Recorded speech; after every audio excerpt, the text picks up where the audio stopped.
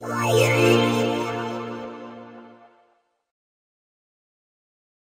everyone, in this tutorial I'll be showing you how to make a YouTube video with pictures and music using iSkysoft Video Editor. Now the first step in this process is to import our media, aka our photos and our audio, and we can also of course import video. We can just click on this import media button here, or go to file, import media, and then we can add either audio files or video photo files. So first I'll add a few photos.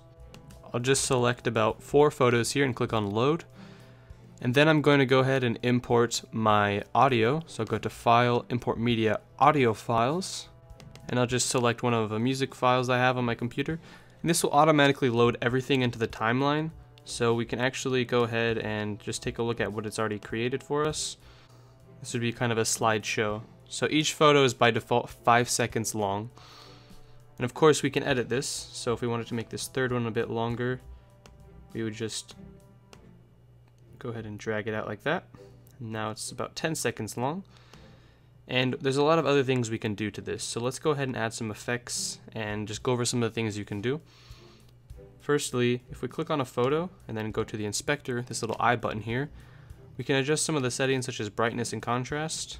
So if we want to do some further photo editing before we upload our video, that works just fine. We can adjust the hue, make it really strange colors if we need and also adjust the saturation to make it really colorful or black and white.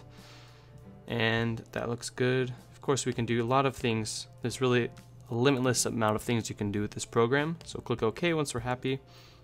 If we go over to the side here, we can add text. We can add filters. So I'll go ahead and add a filter to this long picture here.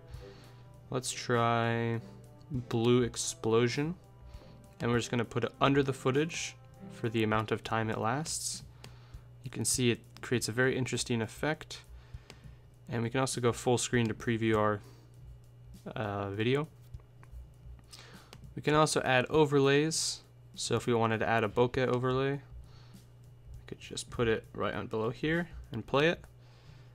And you can see it creates a very cool way to make a slideshow. It's a cool look.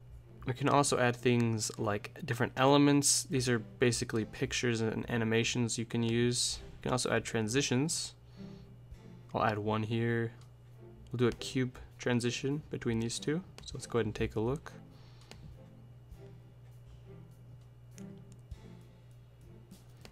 And there's really a lot you can do. You can add all of your photos, adjust the length, add effects, but once you're ready to export your video and upload it, all we need to do is go to export, uploading to YouTube, and it's going to ask us to sign into our YouTube account. There's a lot of options to set up here, so we can set the category of our video, the title, and I would recommend doing anywhere from better to best quality. It will depend on your internet how quickly that will upload. We can adjust the description, tags, and the privacy and click on upload. And once it's exported, it will open up the output folder and it will also tell us when it's been uploaded. So it actually exports and uploads at the same time. And that's as simple as it is. That's how you make a YouTube video with pictures and music using iSkysoft Video Editor.